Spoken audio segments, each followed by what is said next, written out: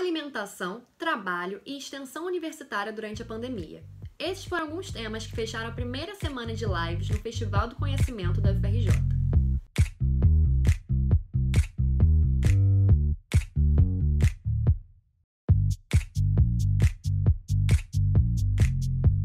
Uma pesquisa feita durante a pandemia pelo Departamento de Nutrição da UFRJ mostrou uma piora na qualidade da alimentação de quem vive na região norte fluminense mais de 1.300 pessoas foram ouvidas e 45% afirmaram que se alimentam de forma irregular. Então, a gente vive uma situação em que a gente tem pessoas que estão se alimentando melhor, pessoas que estão se alimentando pior, e a gente tem pessoas que simplesmente não estão conseguindo ter acesso nenhum à alimentação, estão passando realmente muita necessidade, e, e é importante a gente ter políticas públicas e estratégias para cada uma dessas situações.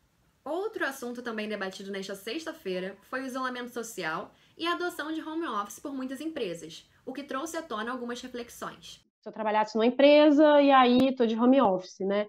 É, quem paga a luz? Quem paga a internet?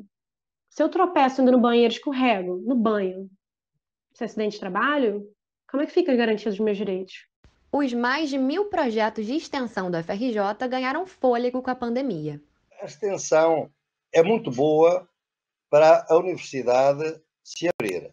Mas eu falo de extensão ao contrário. As epistemologias do Sul obrigam a duas extensões.